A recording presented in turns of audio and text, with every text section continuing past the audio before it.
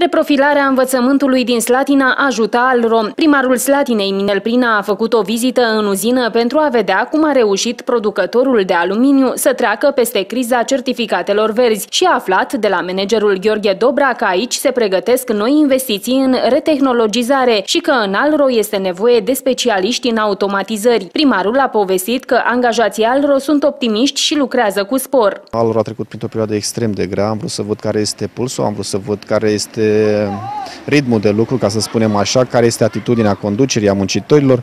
Am fost surprins plăcut pentru că am văzut un optimism, am văzut uh, zâmbet pe buze și din partea conducerii, dar și din partea muncitorilor. Au asigurate locurile de muncă, lucrează cu toții astfel încât această întreprindere să meargă mai departe. Vizitele primarului la companiile de pe platforma industrială a Slatinei vor continua și în zilele următoare. Vizitele mele vor continua în zilele următoare. Voi merge la toate unitățile industriale din Slatina.